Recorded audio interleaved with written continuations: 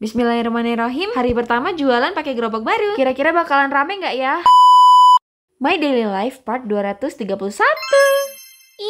Yeay, akhirnya hari ini aku mau jualan pakai gerobak baru nih guys. Semangat banget deh aku hari ini rasanya. Nah, karena gerobak ini kan jauh lebih ringan dibandingkan gerobak lama. Dan karena lahannya miring, makanya harus diganjal nih guys yang depan biar nggak ambruk. Nah, mulai sekarang ada rutinitas baru nih guys kalau buka warung. Buka tutup warungnya kayak gini deh sekarang. Kalau kemarin kan nggak perlu pakai dibuka tutup ya kan. Masih sama seperti biasa. Aku tamin dulu buka bootnya. Habis itu aku lanjut untuk tulisin menu jualan aku hari ini. Lanjut aku pajang dulu ke etalase. Sedangkan itu suami aku lagi ngecek kira-kira goyang nggak gerobaknya. Terus balik lagi ke dapur. Di sini aku mau panas-panasin dulu barang jualan aku seperti biasa. Bukan manas-manasi tetangga loh ya.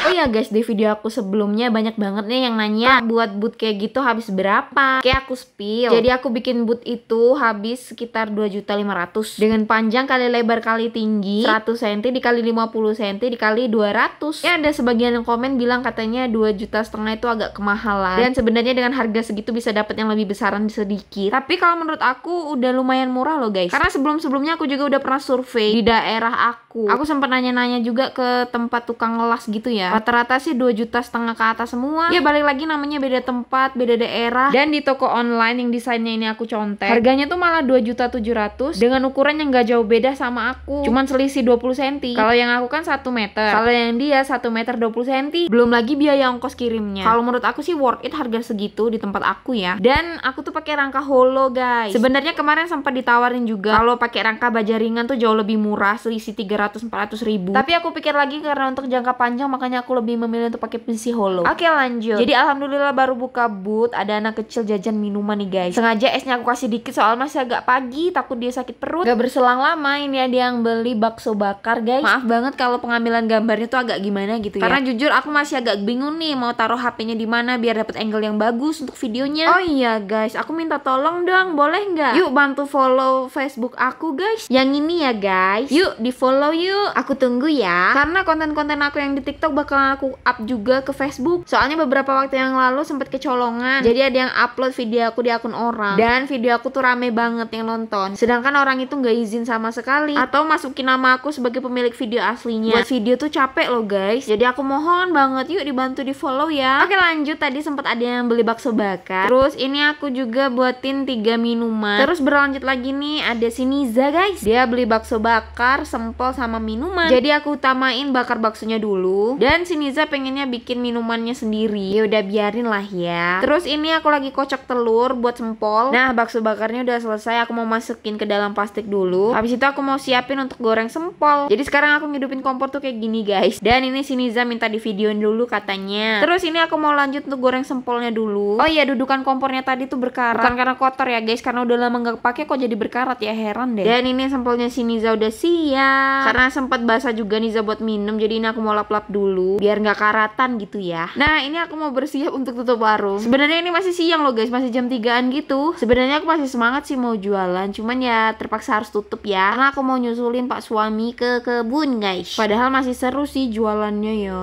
Tapi ya udahlah nggak apa-apa. Masih ada hari esok untuk membondol. Oh ya guys. Tolong kasih ide dong. Untuk boot ini mau aku kasih spanduk lagi tapi namanya apa ya? Yang kira-kira berhubungan sama TikTok lah guys. Aku tunggu ide kalian di komen ya. Ya udah sekian dulu untuk videonya hari ini Bye.